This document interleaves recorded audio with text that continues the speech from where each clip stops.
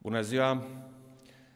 Tocmai am finalizat o întâlnire cu premierul Orban și mai mulți miniștri, o discuție în care am evaluat câteva teme foarte importante și doresc să prezint concluziile și deciziile la care am ajuns împreună, fiindcă sunt teme care privesc pe foarte mulți români. Prima temă, școlile. Aici o mică introducere în temă.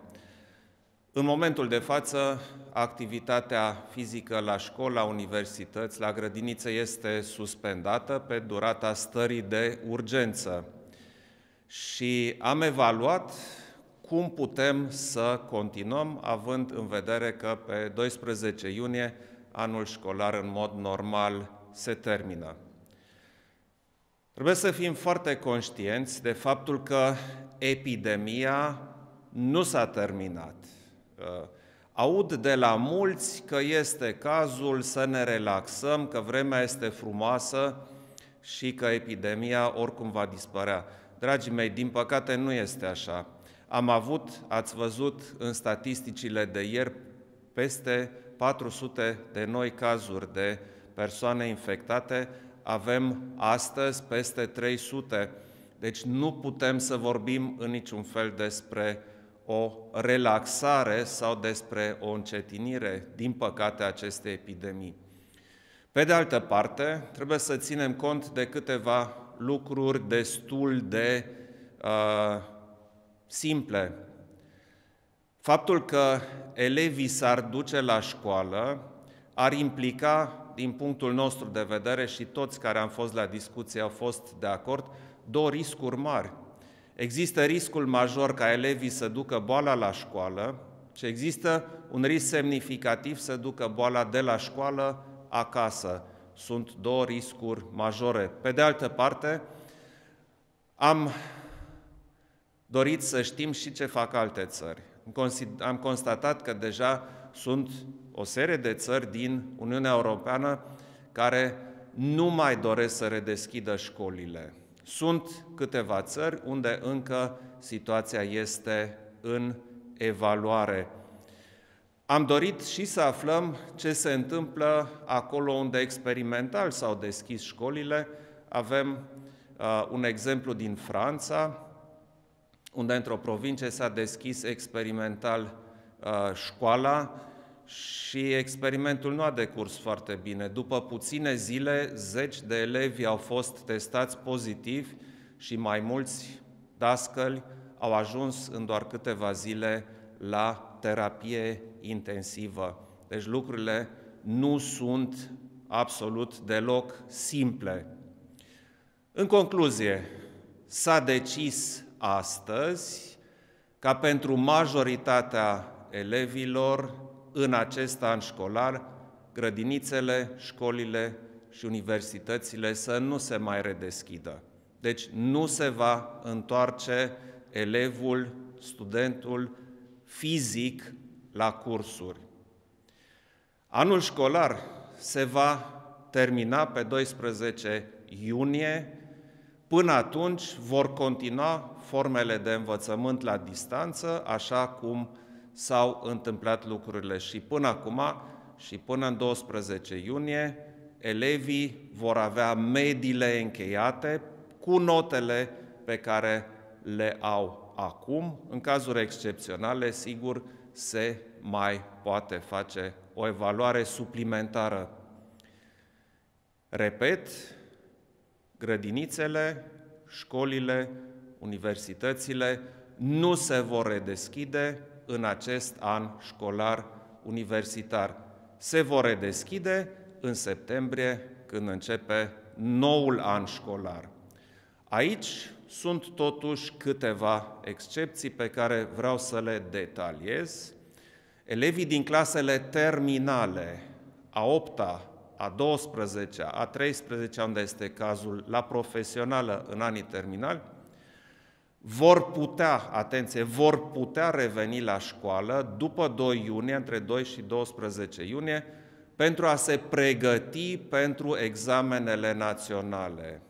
În această situație, altfel decât dacă toți s-ar fi întors la școală, normele de distanțare pot fi respectate, vor fi maximum 10 elevi într-o sală de clasă, vor sta maxim 2-3 ore acolo și se vor pregăti pentru examenele naționale. Examenele naționale, evaluarea națională și bacalaureatul se vor organiza așa cum au fost ele planificate din capul locului, însă cu respectarea unor reguli foarte stricte de distanțare, vor sta la distanță mare unii la alții, vor intra pe un coridor, vor ieși pe alt coridor, se vor face dezinfecții regulate, se va măsura temperatura tuturor persoanelor care intră în școală și multe alte reguli care vor fi explicate în detaliu de reprezentanții Ministerului Educației.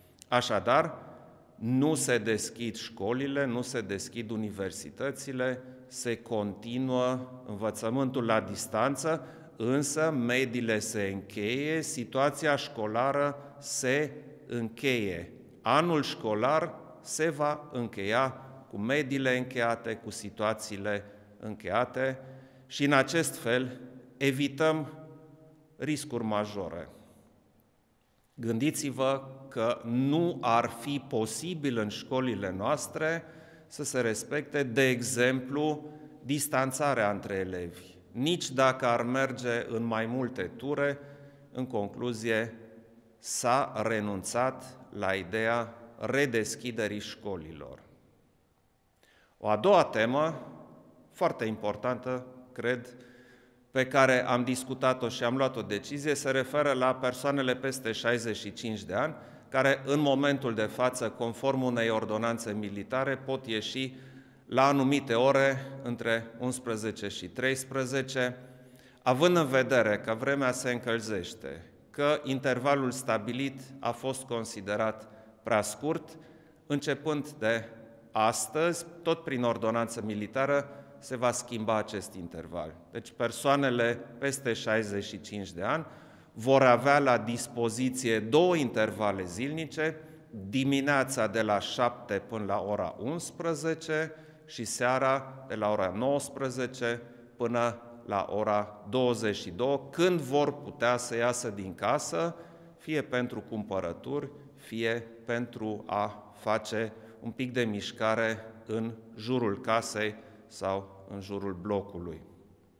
În fine, a treia temă pe care am discutat-o se referă la un ajutor pentru cetățenii Republicii Moldova.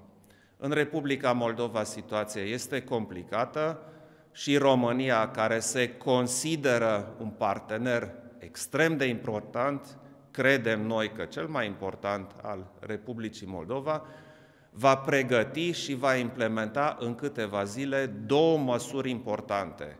Prima, o echipă de medici și personal medical se va deplasa în Republica Moldova pentru a ajuta spitalele de acolo, pentru a ajuta personalul medical și medicii de acolo să facă față mai bine acestei epidemii. O a doua acțiune va consta în trimiterea de măști, materiale sanitare, materiale de protecție, ba chiar medicamente din rezerva noastră în Republica Moldova pentru a ajuta cetățenii de acolo să treacă mai ușor peste această epidemie.